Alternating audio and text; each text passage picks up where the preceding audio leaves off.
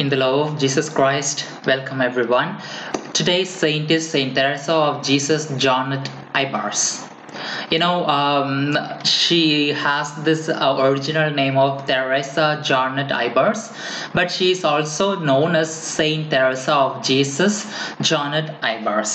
Uh, you know, uh, she's from a Catholic family and she found this Little Sisters of Abandoned Elderly Congregation uh, throughout the uh, you know if you look at her family uh, her family has a great uh, spirituality you know catholicism you know cat, cat, uh, catholic families and every everything you know venerable and, and this and that.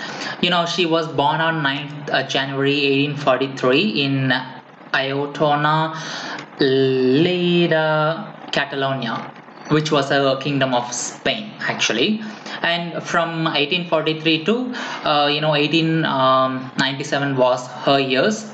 You know she died uh, by 26th August um, in uh, 1897 at the age of 54 the same uh, place but uh, you know Leiria uh, Valencia kingdom of Spain um, where her you know house was located which means the congregation house.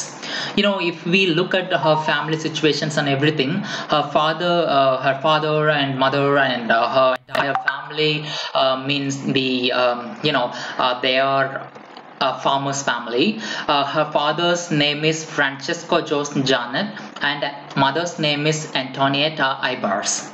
You know she had two sisters as, for, as per this one. She had two sisters and two brothers yeah uh, sorry one brother you know one sister's name is maria and another was is josepha you know uh, this josepha became a, a vincentian religious in havana and um, maria was with her with uh, Saint Teresa, and uh, her brother got married and her three sisters. And later, he also joined in Teresa uh, Teresa's congregation. So you know, throughout her life is like a you know, um, it's nothing. Um, you know, nothing um, but serving with uh, for God and with God you know she applied for uh, to become a Poor Clares but uh, it got some preventions you know uh, there and something and after that in 1870s uh, she became a member of a secular um, carmelites know after her father's death uh, she you know cannot do something this and that and he has she had so many problems with everything. And uh, she uh, you know uh, on 11th october 1872 she and her sister maria moved to Barbastro and her friend mercedes calzenda is sinan opened the first house in 1872 on 11th of October they have started the congregation and opened the first uh, house which means the monastery or something I mean we can we, we know the names right? So they have started so, you know Ibars founded a religious congregation taking the religious name Teresa of Jesus in honor of Teresa of Avila okay. So uh, she was vested in the habit on 27th January 1873 and appointed the congregation's first superior. The mother house opened in Valencia in 8th May 1873 so it was there you know that this and that and everything is there. You know she was uh, beatified on uh, 27th April 1957 by Pope Pius XII and canonized by uh, Pope Paul the Sixth by 2000 uh, sorry 27th January 1974 uh, I'm sorry today is a little bit of uh, you know going crazy and everything but uh, you know I'll, I'll uh, try to give the best. You know see uh, you know um, she had a lot of uh, problems within her house and everything you know. She took care of the sick people the old people the abandoned people. You know uh, do we even care about the old people uh, which means our father and mother? You know do we even care about anyone but ourselves? We do not even care about anything right? You know she did take care of uh, everyone um, you know even nowadays they are doing everything you know. As of 2019 there were um, you know more than 200 uh, religious in total of 204 house uh, throughout 21 european countries and latin america africa and asia. It is there even even in uh, asian india. It is there so you know um, she did nothing uh, no miracles by uh, um, you know by the time she, uh, she was living. No miracles like Funa that will happen you know uh, ignitum magnificent uh, she did not do anything like that you know. Uh, she did um, very easily you know by serving god by serving the poor people like everyone else can do you know we can do. We can take care of the old people you know. If there's old people you know uh, your grandmother or grandfather is asking you something will you do that with the uh, you know happiness with the love of god you know with uh, with the happiness in your heart? No right?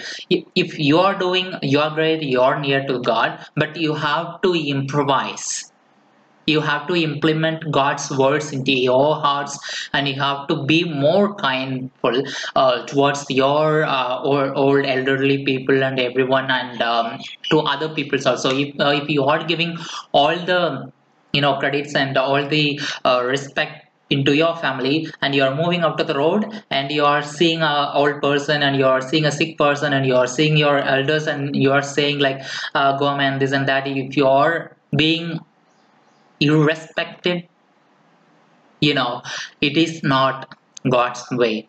You should pay respect to everyone even if it's small one or bigger one no matter what. You know there's three stages for our ages right? One is elder than us and the equal age and the elders. Uh, sorry eldest right? So uh, youngest ones we should pay respect to everyone. We should learn that. You know we should take care of the old people. You know the old people literally not the old and sick people.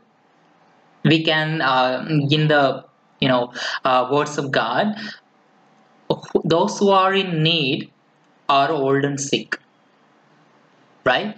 They cannot do anything by themselves unless we help something so let's take something from her life.